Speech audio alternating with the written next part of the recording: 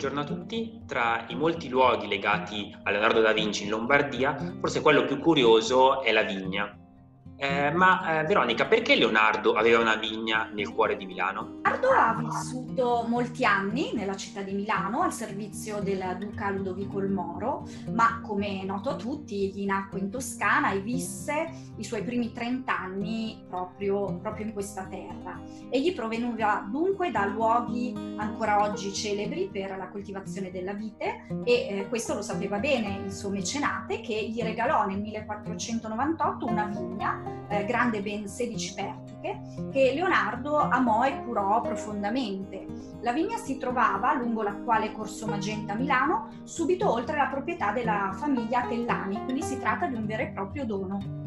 Benissimo, ma com'è possibile che noi possiamo eh, vedere questa vigna 500 anni dopo la morte di Leonardo?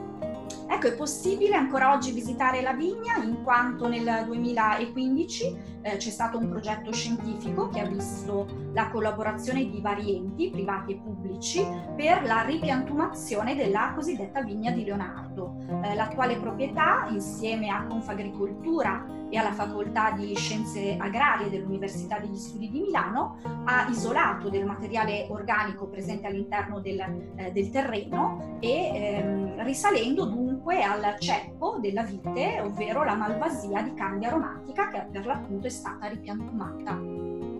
Eh, so che nella visita che ci proponi alla vigna eh, ci condurrai anche tra le stanze eh, della casa degli Antellani. Eh, che cosa potremo vedere? Eh, sarà possibile eh, visitare una delle case rinascimentali di Milano, una delle rarissime presenze eh, di questo periodo. Si tratta proprio di Casa Tellani, una residenza che Ludovico il Moro eh, donò ad uno dei suoi più fedeli e stretti collaboratori, ovvero Giacometto della Tela.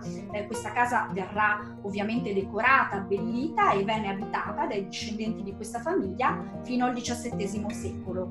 Eh, nel 1900 la casa casa venne poi acquistata eh, da Ettore, Ettore Conti e restaurata del Portalupi e al suo interno è possibile vedere ambienti meravigliosi come ad esempio eh, la sala soggetto astronomico eh, oppure lo studiolo interamente in legno eh, dove appunto eh, riceveva i suoi ospiti Ettore Conti.